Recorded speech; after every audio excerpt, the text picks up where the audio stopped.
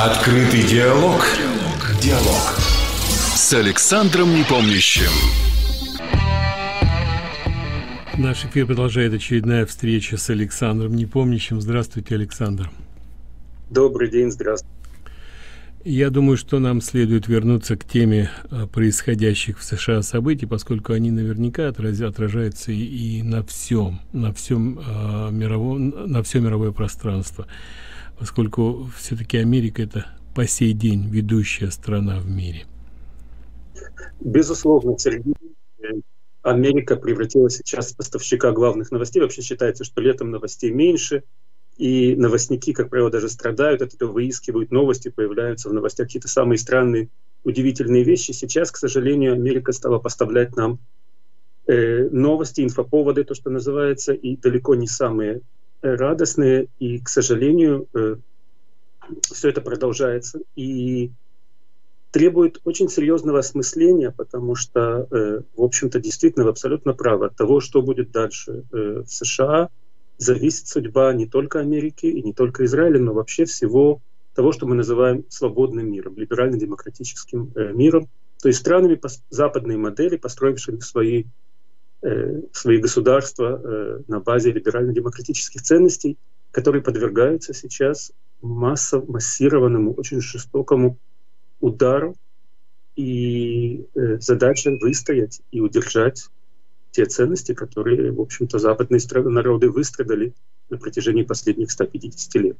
И действительно, когда мы возвращаемся э, к американской реальности, то среди тысяч заснятых на мобильные телефоны видеороликов, демонстрирующих грабежи и погромы на улицах крупнейших городов Америки, встречаются видеоролики совершенно другого рода. В этих коротких фильмах мы наблюдаем массы белых людей, стоящих на коленях, кланяющихся черным и вымаливающих у них прощения за их белую привилегию – за структурный расизм отвратительных и неисправимых Соединенных Штатов Америки.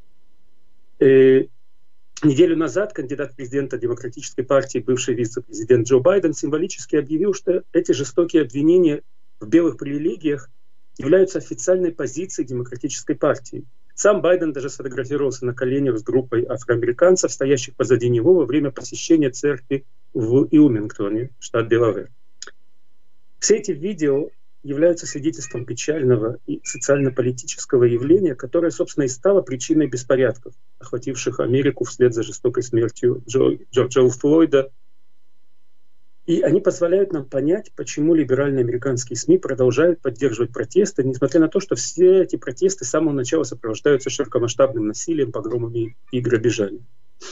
Вопреки тому, что СМИ американские элиты пытаются протолкнуть сейчас в качестве повестки дня – Беспорядки эти отнюдь не стали следствием усиления жестокости полиции по отношению к э, афроамериканцам. Наоборот, как с помощью приведенных фактов доказал э, на прошлой неделе Хезер Макдональд в Wall Street Journal, за последние несколько лет насилие со стороны полицейских в отношении чернокожих вообще значительно сократилось. Насилие, которое мы наблюдаем сейчас, явилось результатом сокрушительной радикализации прогрессивных белых американцев. И Байден, Джо Байден, озвучил эту радикализацию еще прошлым летом, когда во время предвыборной кампании в Айове он сказал, фактом мы предпочитаем правду. В прошлом году политолог Зак Гольберг опубликовал очень интересную статью в онлайн-журнале «Таблет», в которой представил статистические данные, которые демонстрируют глубину и масштабы радикализации белых прогрессистов за последние 10 лет. Гольберг показал, что за период с 2010 по 2019 год белые прогрессисты стали, по сути дела, единственной демографической группой в истории США, которая поставила интересы других групп выше своих собственных. Более того, белые прогрессисты отдают приоритет продвижению интересов меньшинств и иммигрантов не только за счет своих собственных интересов, но и за счет интересов американского общества в целом. При этом, как показал Гольберг, позиции прогрессивных белых в отношении вопросов расы и миграции являются более радикальными, чем позиции по этим вопросам, которые занимают черные латиноамериканцы или азиаты. Гольберг утверждает, что столь резкая радикализация белых прогрессистов в последнем десятилетии стала результатом все большего использования ими интернета. Онлайн-платформы создают фактически своего рода такие информационные пузыри, которые формируют искаженное представление реальности у тех, кто находится внутри этого пузыря. И в этой искаженной реальности расовые взаимоотношения выглядят намного хуже, чем они есть на самом деле. Поэтому те, кто населяют такой пузырь, они предпочитают правду, представленную в пузыре реальным фактом. Гольберг, несомненно, прав в том, что чем глубже погружаются люди в свой интернет-пузырь, тем дальше отдаляются они от объективной реальности. Но надо ясно осознавать, что интернет отнюдь не единственный источник всей этой радикализации. Президентство Обамы тоже стало фактором, усугубившим радикализацию. Ведь когда Барак Обама выиграл президентскую гонку в 2008 году, многие американцы сочли его победу очевидным доказательством окончательного преодоления Соединенными Штатами своего российского прошлого. Обама, однако, не поддержал эту точку зрения. На протяжении всего пребывания у власти он использовал всю мощь своего положения и статуса, внедряя и придавая легитимность радикальным позициям по расовым вопросам, прежде присущим лишь маргинальным левым кругам, обретавшимся на самом краю американской политики. Обама стал активно насаждать точку зрения о том, что Америка, мол, не стала пострасовым обществом, но остается расистской по своей сути – Иными словами, американский расизм носит структурный характер, который был заложен в модель общества и государства изначально. Исправить это невозможно, только разрушить.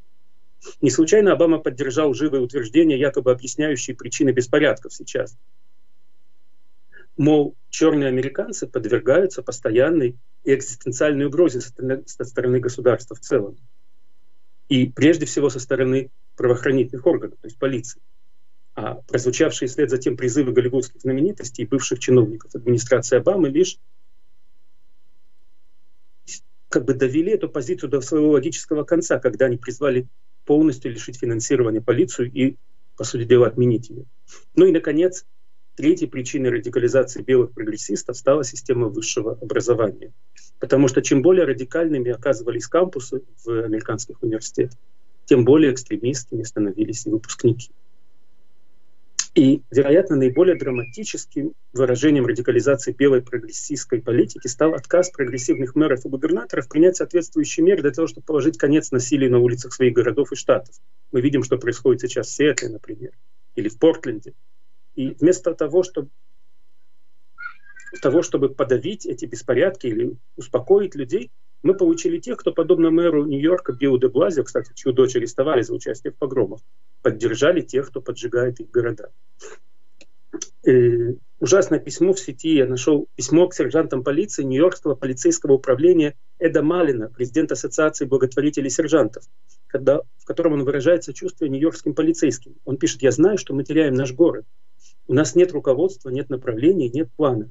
Я знаю, что вас сдерживают и используют в качестве пешек после чего, обратившись к сержантам, попросил их держать строй. Помните, добавил он, вы служите высшей цели. И во всем этом для американских евреев то, что происходит сейчас, все эти погромы и беспорядки, они представляют собой проблему сразу на нескольких уровнях. Потому что, во-первых, они усугубили нарастающее противоречие между их политической и их еврейской идентичностями. Как показал опрос американских евреев в 2014 году, около половины американских евреев считают себя прогрессивными. И будучи таковыми, многие из них разделяют взгляды своих прогрессивных нееврейских соратников относительно необходимости предпочесть интересы меньшинства их собственным интересам. Вот только прогрессивное желание евреев служить интересам тех, кто зовет афроамериканцев на баррикады, оно же идет в разрез с их собственной еврейской идентичностью. Ведь Black Lives Matter, BLM, это радикальная группировка, которая которая одна из инициаторов этих демонстраций, она ведь глубоко антисемитская организация. Вспомним, БЛМ возникла в 2014 году как слияние нескольких антисемитских структур. Антисемитской нации ислама, антисемитских черных пантер, э, такой вот странной инициативы ловцов снов, по-моему, из Бостона, который выступает за расширение прав исторически угнетенных общин и еще нескольких других группировок. А в 2016 году движение э, Black Lives Matter опубликовало свою платформу, которая потом, кстати, была удалена с веб-сайта организации. В ней Израиль назывался государством апартеида, обвинялся в совершении геноцида. Ну, все по плану. Кроме того, Израиль и его сторонники обвинялись в подталкивании США к войнам на Ближнем Востоке. Кроме того, платформа BLM также официально сообщила о присоединении организации к антисемитской кампании бойкота BDS, ставящей своей целью бойкот Израиля, прекращение инвестиций в еврейское государство и введение против него международных санкций. Не случайно лидер компании BDS Амар Баргути на этой неделе признал, что цель кампании BDS состоит в ликвидации Израиля. И вот этой цели привержены Black Lives Matter. Проведение мероприятий в рамках кампании BDS в кампусах США, вы знаете, неизменно сопровождается проявлением фанатизма и дискриминации в отношении еврейских студентов. Неудивительно, что в свое время публикация платформы э, Black Lives Matter была осуждена еврейскими организациями со всего политического спектра. Но сегодня еврейским прогрессистам все труднее отворачиваться от БЛМ, несмотря на откровенный антисемитизм этой группировки. Ведь, как положено белым прогрессистам, они верят, что должны бороться со структурным расизмом Америки даже ценой продвижения прав и возможностей тех социальных сил, которые, будучи антисемитами, отвергают их евреев собственные гражданские права. Собственно, больше отвергают их евреев право на существование как таковое. Вместе с тем, как евреи, они все же чувствуют, что их права должны быть защищены. Тут недавно один прогрессивный еврей попытался разрешить эту квадратуру круга, написав в Лос-Анджелесском еврейском журнале следующую обескураживающую наивную сентенцию. Я цитирую. «Сегодня евреи должны поддержать дело Black Lives Matter, а об Израиле мы поговорим завтра». Ну, что тут остается сказать? Блажен, кто верует. По мере все больше радикализации прогрессистов на протяжении последнего десятилетия радикальные еврейские прогрессисты создали впечатляющую организационную структуру, миссия которой состоит в продвижении вот этой самой прогрессивной революции, в первую очередь среди евреев Америки. Рьяно взявшись за дело, они вывернули иудаизм наизнанку, так что тот в их представлении стал апофеозом прогрессивных революционных идеалов под знаменем так называемого тикунулам. Те, кто знакомы с еврейской традицией, знают, что тикунулам — это понятие в иудаизме и в Кабале, в мистическом части иудаизма об исправлении мира. Так вот, это исправление мира в представлениях прогрессистов, оно превратилось вот в эти вот самые идеи антифы и Black Lives Matter. И где-то неделю-две назад таблет опубликовал эссе из 20 тысяч слов под названием «Согни евреев», о ведущей организации, созданной в рамках всех этих усилий «Согни дугу» Бензар. Впервые вот эта организация привлекла к себе внимание широкой публики в 2018 году, два года назад, после расправы над верующими в синагоге Древа Жизни в Питтсбурге. Помните, организация тогда стремительно опубликовала заявление, которое обвиняло в этой трагедии президента Трампа, ни больше, ни меньше. Когда же Трамп посетил общину, чтобы почтить память погибших, организация «Согни дугу» организовала против него демонстрацию. Вы спросите, много ли человек состоит в этой структуре «Согни дугу»? Я спрошу по-другому, есть ли они вообще? Но какая разница, если годовой бюджет организации составляет десятки миллионов долларов? При этом 28 миллионов долларов поступают в бюджет из трех нееврейских фондов, которые вообще не имеют никакой другой связи с еврейской организационной жизнью. Но зато один из этих спонсоров, фонд Рокфеллера, он хорошо известен своей щедрой поддержкой радикальных антиизраильских групп, в том числе и компании BDS, бойкота Израиля, и продвигающих ее организаций.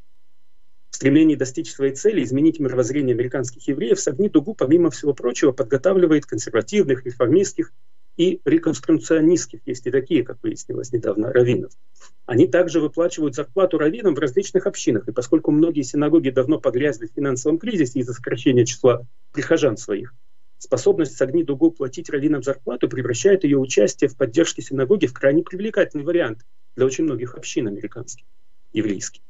И, конечно же, это вдвойне верно для синагог, прихожане которых являются сами прогрессистами. И по мере того, как прогрессивная политика парализует способность евреев бороться с антисемитизмом внутри своего политического лагеря, уровень антисемитских настроений среди белых прогрессистов стремительно растет. Как выяснил Зак Гольберг, по мере того, как белые прогрессисты стали занимать все более радикальные позиции в вопросах, связанных с меньшинствами и иммиграцией, они обратились и против Израиля, естественно. Сегодня белые прогрессисты откровенно враждебны Израилю. Более того, по мнению Гольберга, хотя они и выражают поддержку евреям, их симпатии и забота о евреях, они обусловлены чем? А тем, что евреи не выступали бы против негров и других меньшинств с точки зрения белых прогрессистов, менее привилегированных, чем сами евреи. И сегодня на пылающих улицах Америки откровенная ненависть левых к евреям стала видна предельно ясно. Маленький штрих, тот самый мэр Нью-Йорка Билл де Блазио, который не позволял полиции города предпринять решительные меры против мародеров сейчас и поджигателей, не так давно отдал распоряжение использовать всю необходимую силу, чтобы не дать еврейским детям из ультраортодоксальных семей в Бруклине посещать школу. А, ну, из-за карантина, да? А ранее, на той же неделе, полиция разогнала в Бруклине группу хасидских детей и их матерей с детской площадки в Вильямсбурге. Ну, казалось бы, окей, хорошо, они хотели выполнить условия карантина. Но та же самая полиция, которая сейчас, которая тогда разгоняла этих людей, остановлена сейчас в... и не защищает жителей города Нью-Йорка от беспорядка. Но хуже, конечно, то, что в Нью-Йорке, и Лос-Анджелесе и в других городах синагоги стали объектами атак банд погромщиков, вот этих самых Black Lives Matter. А что вы хотели? Более того, по данным Yeshiva World News, 75% принадлежащих евреям магазинов в ультраортодоксальном анклаве Беверли-Хиллз были в минувшие выходные разграблены. И графики, которые оставлены в Лос-Анджелесе, ясно дают понять, что погромы предприятий и кварталов были целенаправленными, поскольку принадлежали евреям. Между созданием Black Lives Matter в 2014 году и публикацией его платформы в 2016 году антиизраильские активисты сделали все возможное, чтобы создать абсолютно лживую концептуальную связь между палестинскими арабами и афроамериканцами. сегодня антиизраильские активисты в США пожинают плоды своих усилий, извлекая выгоду из беспорядков. В свою очередь, антиизраильские активисты в Вифлееме, например, изобразили на разделительном заборе бандита Джорджа Флойда в арабской Уфие в одежде, завернутым во флаг ООП, Организация освобождения Палестины. И эта фотография мгновенно и широко разошлась по всем социальным сетям. И думаю, что многие из наших слушателей ее видели. Демократы верят, что беспорядки разрушат надежды президента на переизбрание. Опросы на этой неделе показали, что, по крайней мере, в краткосрочной перспективе погромы снижают шансы Трампа на переизбрание. С другой стороны, возможно, что хаос на улицах усилит общественную поддержку президента Трампа, в котором избиратели могут увидеть последний оплот отделяющих от национального крушения. Но вне всякой связи от того, выиграет ли Трамп в ноябре или проиграет, радикализация белых прогрессистов, являющаяся первопричиной всего происходящего хаоса, она становится самой серьезной угрозой для социальной сплоченности в Америке, как в, краткосрочной, так и в долгосрочной перспективе. Поймите, все эти антифы и БЛМ — это все ужасно и отвратительно, но подавить их на самом деле не стоит ничего. Это, это действительно это не эпидемия и не страшная болезнь. Это меньше, чем вирус, это простуда. Вылечить ее можно за несколько минут. Она не лечится, потому что ее не лечат. Потому что вирус поражает, как иммун, вирус иммунодефицита, как СПИД, он поражает системы управления и системы защиты. И вот и все это происходит не потому, что БЛМ или Антифа захватили власть, а потому что белый прогрессивизм разъел мозг э, американской элиты. И поэтому именно это является главной угрозой сейчас для Америки, а не эти беснующиеся мародеры и грабители, которые прыгают по пылающим улицам американских городов.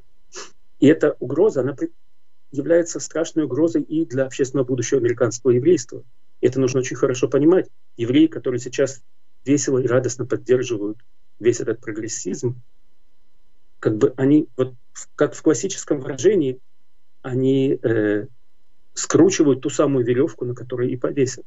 Потому что это угроза и для самого еврейства американского, и для отношений между американской еврейской общиной и остальным еврейским миром, и, конечно, для американо-израильских отношений. И отношение глобально большинства израильтян к тому, что происходит, разительно отличается от того, как видят это американские евреи, большинство американских евреев. Это очень заметно в социальных сетях. Одним словом, мы действительно находимся в очень сложной и в очень опасной ситуации, но нужно четко понимать, что опасность исходит не столько от погромщиков и мародеров, сколько, как говорил профессор Преображенский, от разрухи в головах самих американцев. Сергей. Да. Я напомню, телефон в студии 847-400-5200. Если у вас будут вопросы, вы можете позвонить, задать. А на самом деле ну, как бы вот смотришь на все эти э, видео, которые здесь в соцсетях довольно в больших количествах, и сравниваешь то, что ты видишь своими глазами, с тем, о чем говорят политики демократы, о чем говорят э, так называемые журналисты на CNN, MSNBC, BBC, на всех каналах практически, которые уверяют нас, что это в подавляющем большинстве мирные демонстрации, и диву даешься просто диву даешься. Сегодня у нас был разговор, и человек говорил, а вот если бы журналисты присутствовали при полицейских рейдах, ну, во-первых, журналистов больше не осталось, остались продажные шлюхи. Журналистов нет. Вон Такер Карлсон попытался, так сказать, показать, представить вещи своими именами, так корпорации, э, такие большие корпорации, там, Тимобил в частности, остановил рекламу. Папа Джонс Пицца остановили свою рекламу. То есть, если находится один голос какой-то, э, который говорит, называет вещи своими именами, то тут, тут же начинают его атаковать. То есть э, свобода слова как бы становится... Сергей, ведь подменяется причина и следствие. То есть, когда мы говорим о жестокости, в кавычках, полиции э, американской, мы говорим о том, что американская полиция, которая пытается выполнять свою работу по наведению порядка в городе, заходя скажем, условно, черный квартал, сталкивается с колоссальным насилием, которого быть не должно. Ведь э, нам говорят, вот они ре, приводят статистику убийств э, полицейскими чернокожих. Так проблема не в том, что они были чернокожими, а в том, что они были насильниками, грабителями и теми, кто сопротивлялся полиции. Потому что вы не найдете такой же статистики в отношении белых, просто потому что белые, даже преступники, будут вести себя иначе в большинстве своем.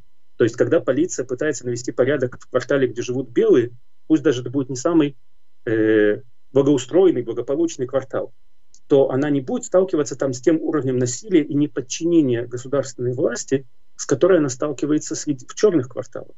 Соответственно, проблема не в том, что полицейские расисты и убивают черных чаще, чем белых. Мы, кстати, я говорил о том, что на самом деле это и неверно. А в том, что именно э, в этом э, сегменте общества американского есть неуважение к власти, к власти закона, отказ выполнять, подчиняться законам, что, естественно, должно, как бы, должно вызывать на себя более жесткое отношение полиции, потому что иначе будет бардак, иначе будет развал. И вот здесь, подменяя местами причину и следствие, прогрессисты, достигая своих целей, как бы разрушают американское общество. Нужно понимать также, что вот эта вот э, болезнь прогрессизма, которая очень близка к неомарксизму, мы как-нибудь о нем поговорим отдельно в нашей передаче, и как бы главный общий знаменатель, я хочу об этом к этому, к этому сегодня еще вернуться, главный общий знаменатель всех этих э, протестных движений разгромных, это ненависть и презрение к либерально-демократической модели. То есть эти все анти, в кавычках, фашисты и э, неомаркс, прочие неомарксисты, анархисты, троцкисты, маоисты, они презирают ли, либерально-демократическое общество и пытаются его разрушить. Они считают, они называют либерально-демократическое общество фашизмом, с которым они борются, подми- выворачивая наизнанку все определения. И именно это как раз и ведет к, на, к насилию и к беспорядкам. Поэтому конечно же, э, проблема должна быть названа своим именем, и нельзя подменять причины и следствия. Полиция ведет себя жестоко в кварталах, э, например, тех же черных кварталах, не потому что она жестока или не потому что они расисты, а потому что именно там она встречает сопротивление, неподчинение закону, сопровождаемый, как бы накручиваемый неомарксистами, презирающими либерально-демократическое общество по определению. Давайте попробуем принять звонок. Добрый день, пожалуйста, в эфире. Скажите, можно задать такой вопрос? Есть ли какое-то продвижение в Сенате по второму траншу? Как-то Я не слышу, в Сенате почему? Ну, это уже не второй транш, это уже будет боль, уже три транша было, поэтому, э, ну, пока в Сенате ничего не продвинулось, во всяком случае, а, тот законопроект, который на очередные 3 триллиона долларов был предложен, по-моему, остался пока в Нижней Палате, и я не думаю, что Сенат проголосует за подобные вещи. Я Но... тоже не слышу, я тоже не слышу, что было какое-то продвижение. Добрый день, пожалуйста, в эфире. Алло, здравствуйте еще раз.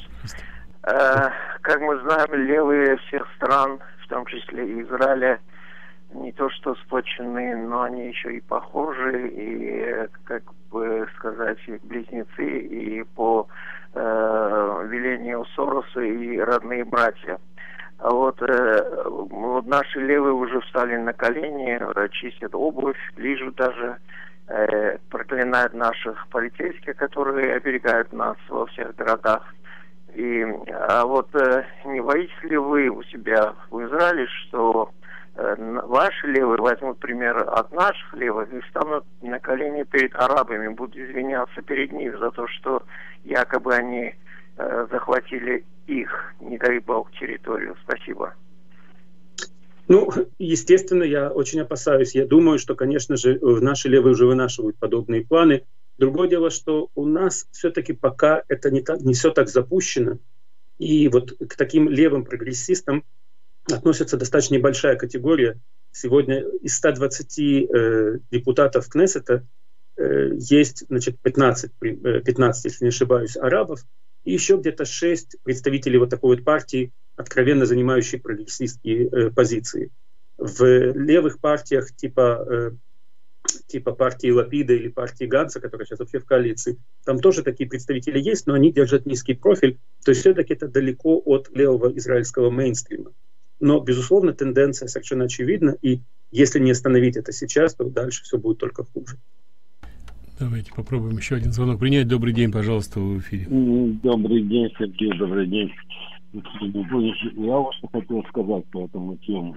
Я дальше значит, наткнулся в интернете в одном интересном э, обсуждении. Один человек, я уже, извините, забыл, но он приводит очень четкие ссылки со ссылками на исследования, которые показывают, что средний average IQ у населения Африки э, меньше 70, 67, что-то такое. Это то, то, кстати, когда этот факт э, озвучил великий исследователь э, Фрэнс Крик, его, помните, Уотсон, его выбросили со всех мест. И э, он еще заканчивает этот человек такой сентенцией. Если дают э, остров азиатам, получается Япония. Дают белым, получается Британия. Дают остров черным, сейчас и гаити. Вот такое вот соображение. Я хотел бы узнать ваш комментарий. Спасибо за ваш звонок. Мы должны прерваться сейчас на рекламную паузу. У нас есть свои обязательства. Никуда не уходите, оставайтесь с нами. Скоро вернемся и продолжим. Открытый диалог. Диалог. Диалог. С Александром Непомнящим. Продолжаем нашу программу. Александр, давайте попробуем принять звонки. Угу. Добрый день, пожалуйста, в эфире. Добрый день. Эм, меня зовут Анатолий. Мне кажется, что причины всех этих возмущений лежат, конечно, в самом обществе. И парадокс, чем более прогрессивно общество, чем более развита наука и техника в этом обществе, тем сильнее будут нарастать эти противоречия. Это связано с тем, что огромная масса людей становится невостребованной, так как промышленность, полиция, армия, все требует все более и более подготовленных людей, людей э, с большей образованностью. А получить эту большую образованность могут не все. Это еще зависит от IQ людей. Так большая масса раньше, например, черных, э, могла идти в армию, теперь и армия требует наибольшего э, наибольшие требования и не всех их принимает промышленности простая секретарша раньше могла справляться с пишущей машинкой, а теперь ей надо уметь выйти на интернет, искать информацию. И в этом вот основная причина. А Америка это первое, потому что промышленность и наука здесь наиболее развиты, она первая столкнулась с этими проблемами. Дальше будут сталкиваться с этими проблемами во всем мире. А вот что делать, это вот большой вопрос. Ну, я не знаю. Спасибо большое, во-первых, за ваш звонок. А, я не знаю, что значит э, люди не могут справиться с компьютером. Дети в совершенно нежном возрасте уже оперируют гаджетами. Ну и потом, наверное, поколение два уже э, людей, которые закончили школы или колледжи, вполне себе могут разобраться с этой техникой. Так что я не думаю, что проблема в этом. И потом, что касается незанятых людей, вы помните, у нас безработица была накануне всех этих трагических событий, там, по-моему, три с чем-то процента, что, по сути дела, не является безработицей, то есть стопроцентная занятость была. Мало того, а, порядка 6 миллионов человек были в транзите, то есть искали работу, стояли на там зарегистрированы, а более 7 миллионов свободных рабочих мест – и потом нам говорят о том, что необходимо открыть границы, чтобы шли вот иностранцы, работали. Э, причем работы, которые иностранцы выполняют, не требуют особой квалификации, как правило, это низкоквалифицированные рабочие. Так что я не думаю, что проблема в этом. Я абсолютно с вами согласен, Сергей. Я хочу добавить, что снова, я подчеркну это снова и снова. Главная проблема не в тех погромщиках, которые сейчас э, непосредственно находятся на переднем крае и жгут и грабят магазины. Главная проблема в элите, которая как раз как бы хорошо образована, и чем и будучи, так сказать, образованной в американских кампусах, в американских университетах, она очень сильно радикализована. И вот эти вот белые прогрессисты, не черные, а именно белые прогрессисты, они есть заводилы, те, которые лишают государства возможности защитить себя от этой вот э, мелкой проблемы на самом деле. Потому что мы с вами прекрасно понимаем, что всех этих негодяев и безобразников можно было буквально за несколько минут подавить, если бы полиция получила соответствующее разрешение. И, к слову, еще о границах, о которых вы говорите, которые не требовали недавно открыть и добивались, чтобы Трамп открыл границы. Что делают сейчас в Портленде и в Сиэтле, может, мы успеем еще сегодня об этом поговорить, ограничивают свои территории, загораживают, строят баррикады и заборы, и они вдруг вспомнили, что есть такое понятие границы. Ну, люди не умеют, то есть они настолько несостоятельны, что они даже как бы не видят противоречий в каждом своем действии с декларацией одного и действия другого. Сергей. Э, добрый день, пожалуйста, вы в эфире. А, добрый день. Вы знаете, мне кажется, что вся проблема не в том, что в отсталости в технической, а в развращенности, безделием и подачками именно черного населения. Потому что кроме черных и белых в Америке в Америке куча, индусы, азиаты, все. И никто не находится в таком положении. Никто, только они. Это все дело в, в развращенности именно безделием и подачками. Бесконечными и бесконечным этим идиотским чувством вины непонятно за что. Вот, мне кажется, вся проблема только в этом. Спасибо. Политики всегда использовали расовую карту, ну, начиная с Линдона Джонсона, вы помните, когда принят был закон, по-моему, в 65 году о борьбе с бедностью, на который потратили уже 22 триллиона долларов. Бедность не победили, но зато он сказал, что теперь негры, он так и сказал, теперь негры будут 200 лет за нас голосовать. То есть э, определенно одна партия, которая ставит на эту ставку, покупает голоса избирателей, в частности афроамериканцев – и э, основы общества, там, скажем, семьи разрушаются, то есть они лишаются стимула э, жить цивилизованной жизнью, создавать семью, получать образование, добиваться каких-то результатов э, в труде. Они, они лишаются этого стимула, потому что их задача сводится к тому, чтобы они голосовали за одну партию, а эта партия ну, будет оборовывать налогоплательщиков и потихоньку расплачиваться. подачки, да. Но снова, снова и снова я повторю, проблема не в люмпинах деклассированных, не в, тех, не в той пьяной матросне, которая в семнадцатом году разрушила Санкт-Петербург. Не в этих люмпинах, которые шли за большевиками, за исламским государством в Ираке, за э, нацистами. Проблема в идеологах, и это ядро идеологическое. Это далеко не э, деклассированные люмпины. Это те, кто называют себя элитой американского общества. И, безусловно, вы абсолютно правы.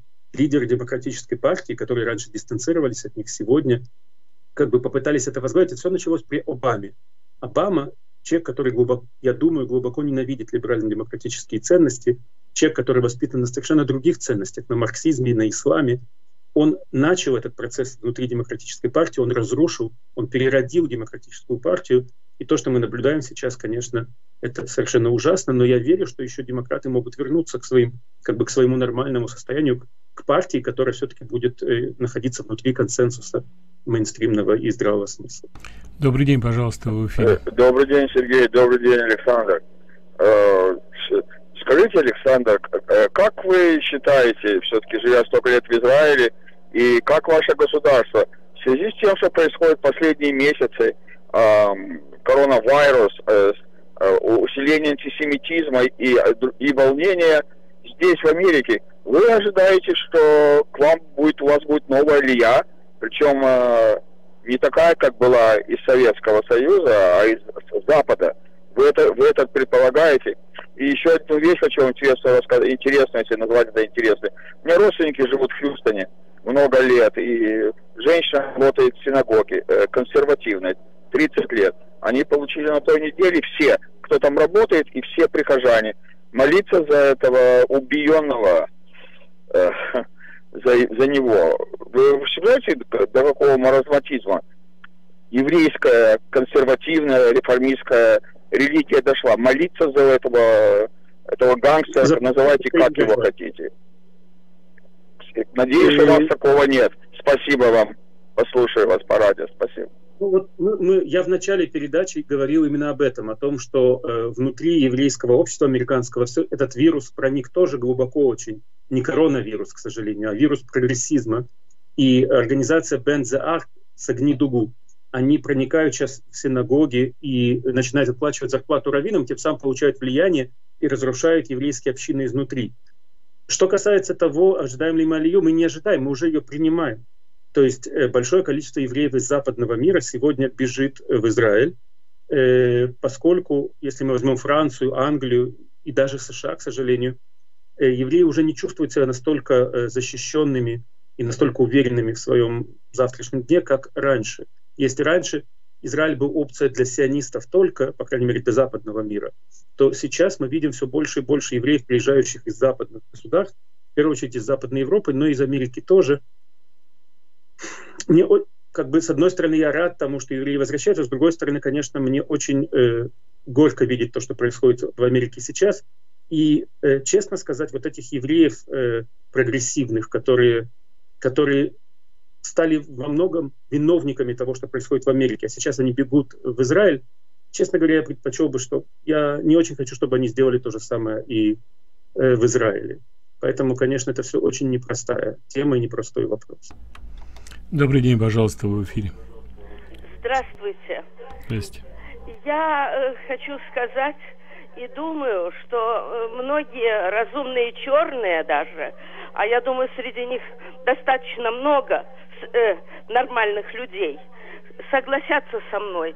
Почему на рабство не взглянуть со стороны того, что не требовать компенсации за какие-то 300 лет назад события, а наоборот сказать, что они должны каждый раз благодарить Бога, что они живут в этой цивилизованной стране, пользуются всеми благами этой цивилизации – и кто, и кто из них хочет, достигает замечательных результатов. Вот такое им надо объяснить и внушить. Может быть, хоть кто-то из них это поймет. Потому что это настоящее, это действительно так и есть. Они бы в Африке жили, до сих пор сидели на деревьях. Или в стране апартеида бы жили, где все разрушено. Поэтому нужно на, на эту проблему взглянуть с этой точки зрения и показать им, и объяснить, и сказать. До многих не дойдет, но может быть хоть до кого-то дойдет. Спасибо. Спасибо большое. Спасибо. Я не знаю, вы хотите прокомментировать, что-то сказать? Я хочу просто каждый раз, когда я слышу подобные э, фразы, я хочу напомнить о замечательном профессоре э, Томасе Соуэлле, которого я очень люблю читать и перевожу на русский язык. Томас Соуэлл американский, э, афроамериканский э, э, гуманитарий, философ, э, социолог, э, экономист, э, человек блестящего ума, блестящий автор. И он называет вещи своими именами очень четко. Я очень советую вам, чтобы понять просто, насколько неоднородно афроамериканское общество э, и какие там есть. Или вспомним э, доктора Карсона, по-моему, если не ошибаюсь, министр да. в правительстве Трампа. Да? да. То есть есть люди, которые совершенно иначе афроамериканцы, черные, по-другому воспринимают. Просто вот эту вот пьяную матросню, ее громче слышно и виднее, ее выпячивают, вытаскивают на экраны, но нужно все время помнить, что это только часть этого общества, и что есть совершенно другие люди, которые, сказать, э, э являются интегральной частью американского народа и успешной его частью, и той частью, за которой можно гордиться. Добрый день, пожалуйста, в эфире. Здравствуйте. Вы знаете, был проведен опрос непосредственно после, э, после вот этих бунтов э, среди чернокожего населения оказалось, что 40% чернокожие голосуют за Трампа, то есть поднялся еще больше процент, чем даже было до этих бунтов. Потом, значит, Трамп а, провел круглый стол в, в, в Белом доме с представителями бизнеса среди чернокожих. Было там много представителей. Так вот, Многие из них говорят, во-первых, все его благодарили за его работу, за то, что он сделал непосредственно для вот чернокожего этого общества всего. И, и э, многие осуждали вот эти вот бунты и говорили, что это враги, в общем-то, э, их э, комьюнити Э, комьюнити, э, которые настроили чернокожих и вывели их на улицы. Поэтому э, очень трудно сказать, что будет, конечно, в результате, но вполне возможно, что все-таки разум, разум победит и, и наш замечательный Трамп выиграет. Но э, вот еще что я хотела сказать. Значит, кто за ним стоит? За ним, вот за этими, а, за организаторами и сами организаторы, это глобалисты, те самые, которые хотят переделать мир. Они хотят, они, в общем-то, давно говорили, что, во-первых, им не нужно такое количество народа населения, и, в частности, Билл Гейтс там среди них, естественно, и Рокфеллеры, и, э, конечно, Сорос, и многие другие. Все, очень много среди них, и практически все, значит, э, представляют... Алло. Алло, что-то прервалось, да? Да. Давайте ну, попро... я хочу сказать, что я бы не, не, не бросал бы в одну кучу Билла Гейтса и Сороса, поскольку э, общим знаменателем э, у всех этих людей действительно, ну, опять же, в, а, а, в сторону отведем Билла Гейтса, действительно есть общий знаменатель. Это неприятие либерально-демократических ценностей. Это неомарксизм, для которого война с либеральным демократическим обществом, американским, вообще западным, стала главной задачей. Собственно, и была главной задачей изначально.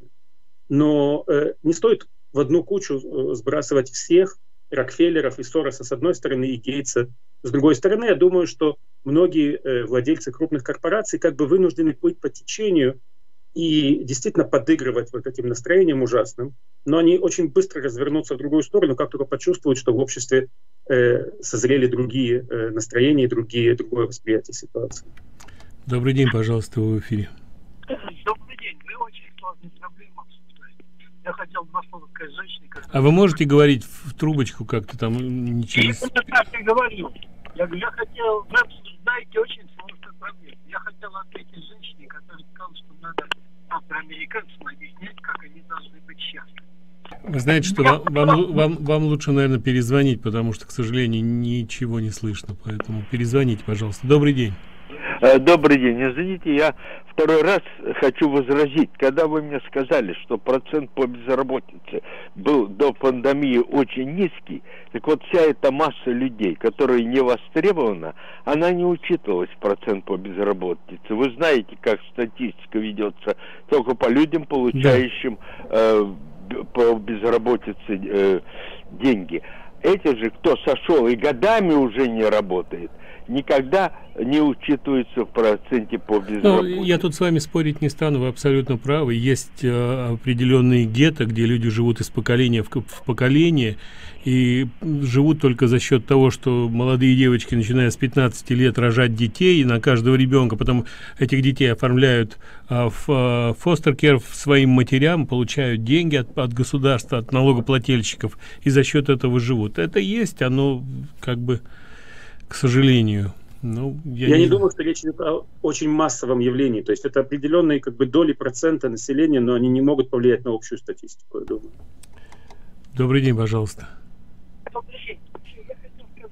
Ну, извините, но это нет. Не против того, что вы говорите, но, к сожалению, вас не слышно. Что-то у нас у вас с телефоном.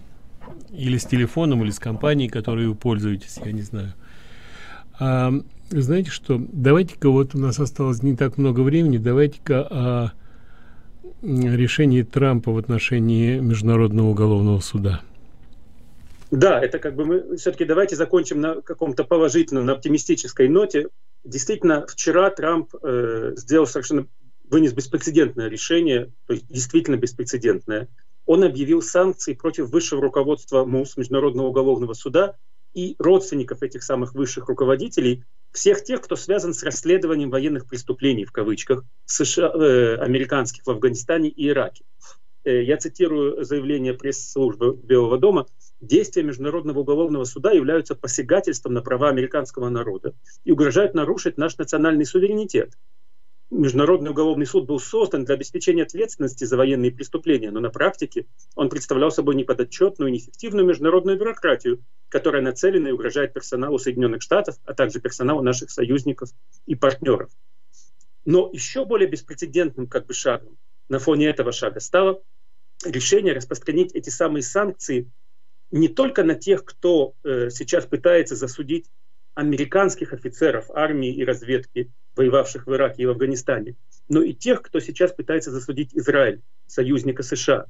Я напомню, Гагский суд был создан в 2002 году для судебного преследования военных преступлений против, и преступлений против человечности и геноцида в районах, где преступники иначе не могли бы пристать перед суд правосудием. И в этот международный суд вошли 123 государства, которые признают его юрисдикцию. Израиль и США не входили, не вошли туда, никогда не входили по понятным причинам, потому что знали, как бы, чем все это кончится. И вот четыре месяца назад э, прокурор Международного уголовного суда Фату Бенасуда, она заявила, что следует расследовать Израиль за военные преступления. Обращение, как бы формальный повод, они получили от государства в кавычках Палестина, Палестина, которое вообще не является государством. То есть даже на уровне э, юридических формальностей они нарушили протокол, потому что Палестина нет такого государства, она не может представлять себя в Международном уголовном суде. Израиль, конечно, заявил, что не считает э, Палестину суверенным государством. Нет такого государства в принципе. И он не может передать уголовную юрисдикцию э, на, на своей территории э, Международному уголовному суду. А те, более того, они говорят, что вот как бы расследовать Израиль по прецедентам Балкан, то есть вы помните войну на Балканах, преследование военных преступников на Балканах, и Руанды, Руанды, где была действительно резня, где больше миллиона человек были уничтожены. И вот они пытаются сравнивать Израиль, который воюет в шелковых перчатках, и Руанду. И Трамп и Помпео предупреждали МУФС, что вы будете наглеть, вы получите по голове. А те, как бы, по сути дела, что произошло? Бенасуда наплевала на Америку, но сейчас, когда Америка как бы наплевала ей ответ, то э, в этом как бы плевке потонула и Бенасуда сама, и весь Международный уголовный суд, потому что, по сути дела, решение Трампа защитить своих военных и военных э, армии обороны Израиля, это э, как бы не только действительно теряют смысл все попытки расследовать американских военных, потому что защита означает не только санкции против тех, кто пытается расследовать. Защита означает также, что если, например, какого-нибудь американского или израильского офицера задержат сейчас в какой-нибудь стране для передачи в Международный уголовный суд, Америка может использовать дипломатические и военные методы, то есть, грубо говоря, десантировать свою армию по приказу президента и вытащить этого офицера из этой страны, неважно, будет ли это Зимбабве или Бельгия. И это первое. Второй момент э, – это делегитимация. По сути дела, Международный уголовный суд сейчас не изведен до разряда какой-то, так сказать, третьесортной представительской организации третьесортного мира, который никому не интересен. То есть если Америка может так себя повести к нему, то и другие страны будут говорить, мы тоже так, в общем, будем э, санкци... э, объявлять санкции вашим представителям. И, по сути дела, мы видим здесь, в общем-то, очень последовательные действия Трампа. ЮНЕСКО, Совет по правам человека – УНРА, вот этот БАПОР, ООН, ВОЗ и теперь МУС. Все эти организации на самом деле ведь были задуманы для пользы, но они постепенно превратились в инструмент борьбы с западными демократиями. И США и Израиль оказались на линии фронта, потому что это как бы самые ненавидимые, самые как бы ненавидимые модели либерально-демократических государств, самые устойчивые, самые стоящие на передней фланге. И всех врагов Израиля и США объединяет вот это неприятие либерально-демократических ценностей, которые они пытаются разрушить это и братья-мусульмане, и всевозможные коммунисты, и антифа, они все против. И вот сейчас приходит Трамп и начинает потихонечку эти авгиевые конюшни в этом балагане, в общем, зачищать. Поэтому, конечно, это решение не звести Международный уголовный суд до просто, как сказать, до плинтуса, разрушить всю их легитимность и нанести, по сути дела, реальный удар по э, тем самым представителям, потому что это не только санкции, не, им не только теперь нельзя появляться в США, все их имущество в Америке заморожено, все их банковские счета на американц... в американских банках заморожены, не только их, но и их ближайших родственников. Таким образом, мы видим, что Трамп действительно выполняет свою программу. Он был выбран для того, чтобы быть Трампом, то есть вот тем, что мы сейчас видим. И это его ищу, это его суть. И дай Бог, чтобы он мог продолжать эту работу по сохранению и защите свободного мира. Александр, огромное спасибо и до встречи в следующий раз. До встречи.